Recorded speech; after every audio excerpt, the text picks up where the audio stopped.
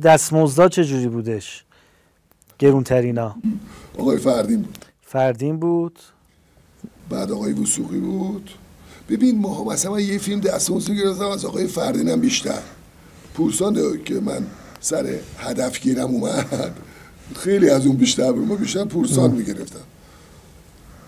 دستمزدهای خیلی ولی من مثلا دستمزدم اون موقع آقای فردین مثلا 300 میلیون 300 هزار تومن می‌گرفت آقای وسوقی مثلا 200 تومن من مثلا 140 تومن می‌گرفتم 150 تومن. ولی بعضی موقع پورسانت که می‌گرفتم مثلا من اگه اوقابا رو پورسانت می‌گرفتم دو سه تو سینما خریده بودم. تنها چیزی که در این مأموریت ارزش حیاتی داره سکوت مطلق رادیویی. مگر در موارد اضطراری که اونم نمیشه کاریش کرد. سوالی هست؟